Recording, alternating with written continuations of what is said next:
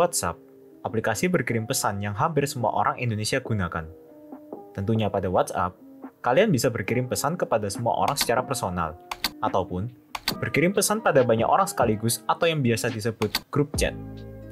Dan mungkin, sebagian besar dari kalian yang nonton video ini memiliki grup keluarga pada aplikasi WhatsApp kalian. Tapi pernah nggak sih, di grup keluarga WhatsApp kalian, orang tua kalian sering share berita palsu atau hoax Contohnya seperti ini.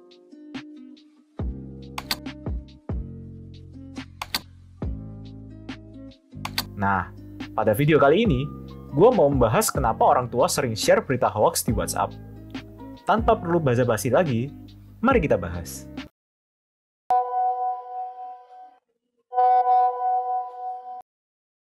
Sebelum kita membahas kenapa orang tua sering share berita hoax di WhatsApp, Gua mau bahas dulu mengenai berita hoax.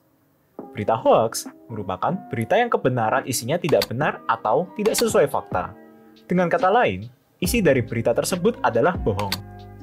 Biasanya, berita hoax ini selalu mengikuti topik dan kondisi dari masyarakat, sehingga masyarakat semakin percaya dengan berita tersebut. Contohnya, pada saat pandemi tahun 2019 kemarin, yang di mana banyak sekali informasi hoax yang tersebar seperti berita berikut.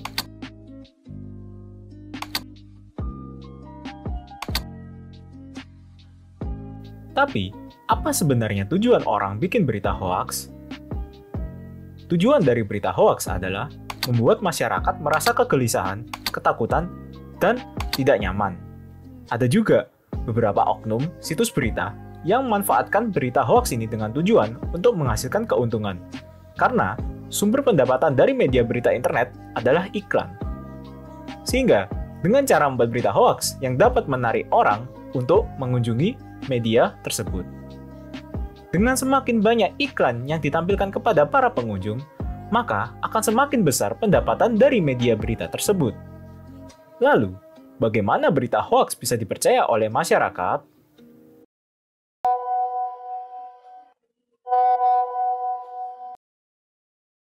Grup keluarga yang ada di WhatsApp sering sekali menjadi sumber utama berita hoax menyebar.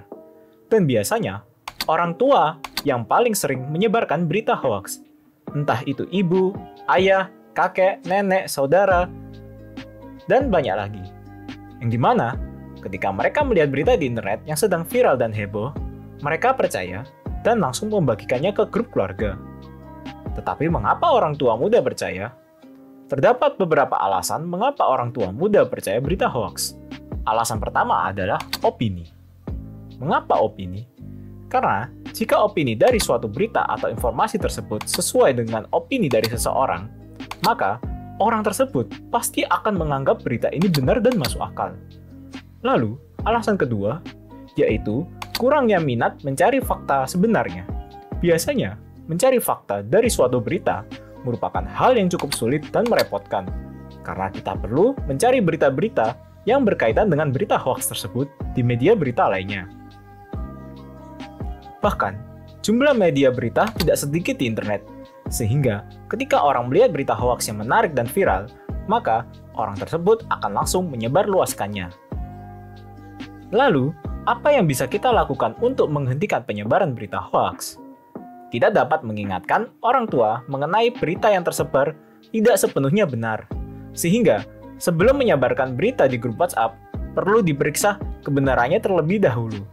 Cara cepatnya adalah dengan memeriksa berita yang topiknya sama di media berita besar seperti CNN, Kompas, dan sebagainya.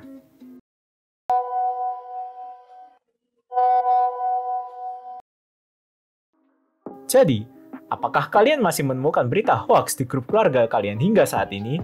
Atau grup keluarga kalian sudah berhenti membagikan berita hoax? Jangan lupa komen di bawah ya pendapat kalian. Jika ada kritik dan saran, kalian juga bisa langsung komen di bawah. Dan jangan lupa like dan subscribe channel ini ya. Sampai jumpa di video selanjutnya. Bye-bye.